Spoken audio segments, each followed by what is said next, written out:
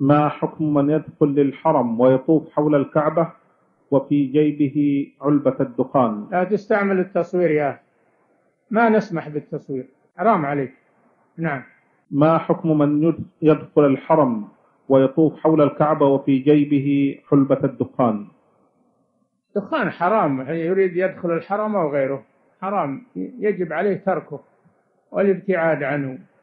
ولكن المعصية في الحرم أشد. من المعصية خارج الحرم. وعلى كل حال عليه أنه يتوب إلى الله من الدخان ويتركه في, في أي مكان في المشرق أو المغرب أو الحرم أو غيره لأنه ضار وخبيث وفيه مفاسد كثيرة مسبب لأمراض خطرة